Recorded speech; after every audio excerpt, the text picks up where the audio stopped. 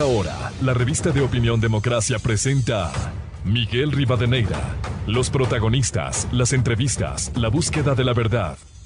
Miguel Rivadeneira, en la revista de opinión Democracia.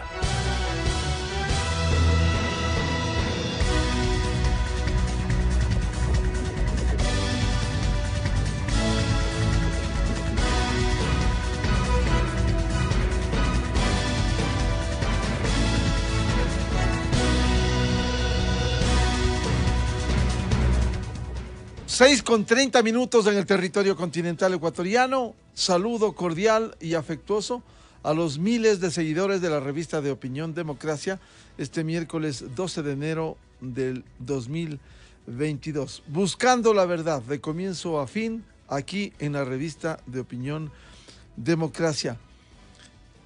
Hoy vamos a abordar temas de interés como el, el tema del aborto que está en trámite en debate en la Asamblea Nacional tema que debiera interesar a la sociedad. Otro tema sobre la indemnización que por un dictamen de jueces de la Corte Provincial de Pichincha ha generado cuestionamientos que vamos a abordar esta mañana. Igualmente, la suspensión de visas a jueces, como confirmara la propia Embajada de los Estados Unidos de América. Vamos a referirnos más adelante a eso y vamos a abordar en un panel esta mañana. Empezaremos por eh, algo de corrupción también.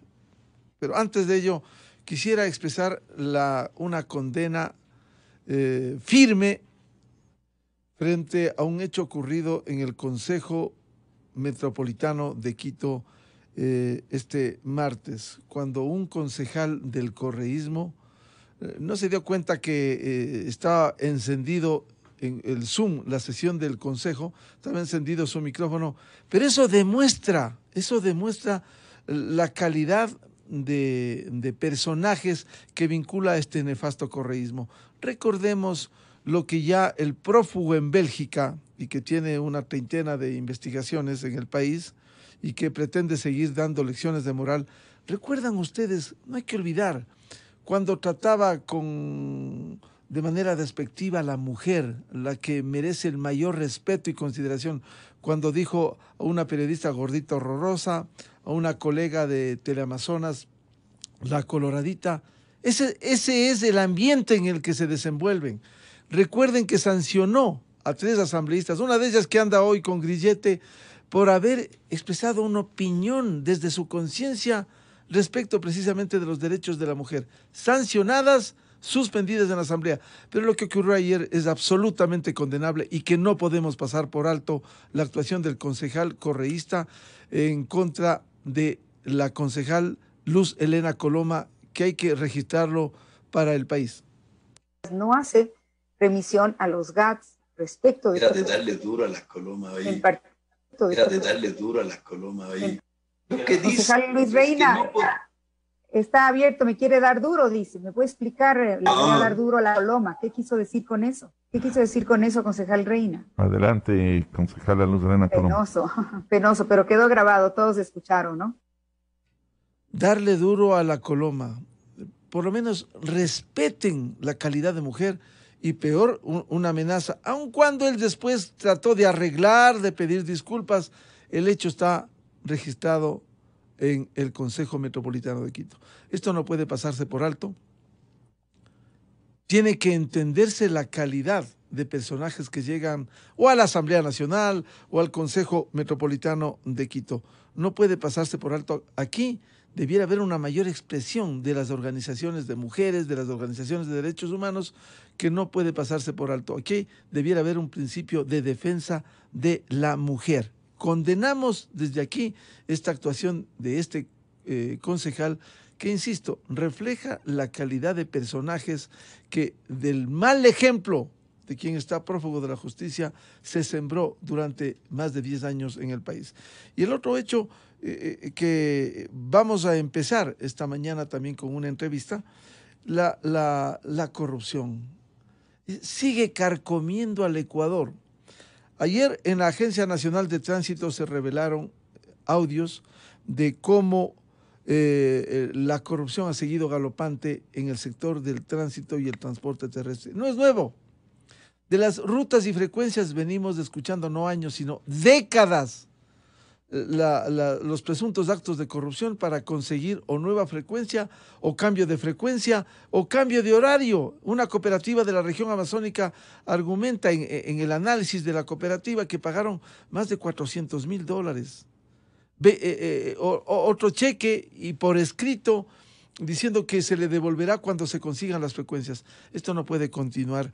A eso se suma la denuncia, que hay que agradecer. No podemos sustraernos, no desde una visión ideológica que condena al imperio, sino de contribución con el país, como lo hace el gobierno de los Estados Unidos.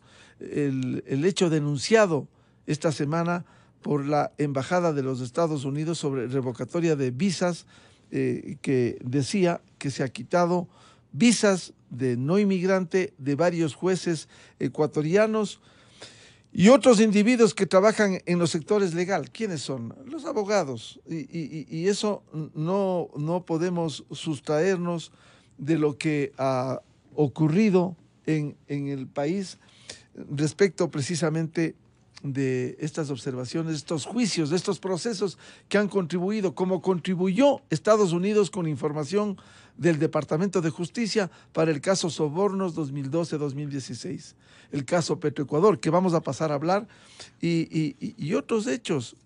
Por ello, la Comisión Anticorrupción ha pedido, eh, a través de su coordinador Germán Rodas Chávez, como publica eh, hoy Diario El Comercio, ha pedido que se dé los nombres de los jueces. La Embajada de los Estados Unidos no va a dar a conocer, como no dio el nombre de los eh, eh, narcogenerales, como calificó el embajador Michael Fitzpatrick, embajador en Quito. Aquí le corresponde a los organismos de control, a las autoridades, a los órganos disciplinarios investigar, como ya se ha pedido desde el Consejo de la Judicatura, que presenten si tienen o no visa a los jueces. Va a ser una tarea compleja, difícil, pero hay que identificar. No se puede generalizar. La mayor condena es generalizar que un sector es del corrupto, que un gremio es corrupto. No. Como en todos los sectores hay gente honesta, que es la mayoría, como hay gente deshonesta, gente vinculada a la corrupción. Por ello es importante identificar y sanear en cualquier institución, más aún quienes administran justicia. De los abogados, sabemos asimismo que hay excelentes abogados, excelentes penalistas, pero hay de lo otro, aquellos que se jactan. ¿Qué importa que le quitó, decía un abogado, que me hayan quitado la visa?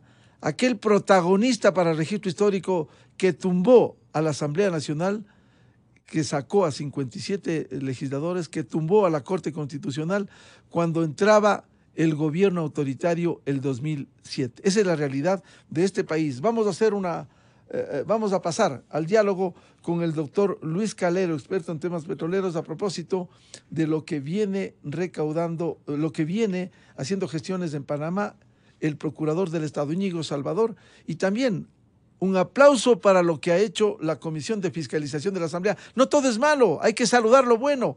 A la cabeza su presidente, Fernando Villavicencio, que ayer entregó una amplia documentación que está generando ya revuelo en Colombia para que se investigue el caso de Alex Saab, el caso del sistema regional Sucre, esto que se llevaron recursos a Venezuela desde las arcas del Banco Central del Ecuador. Aplausos para Fernando Villavicencio por esta tarea, ya no solo nacional, sino internacional, para que ojalá en algún momento se investigue debido proceso, derecho a la defensa, pero que se ponga algo que tanto señora en el Ecuador, fin a la impunidad. Miguel Rivadeneira en la revista de Opinión Democracia.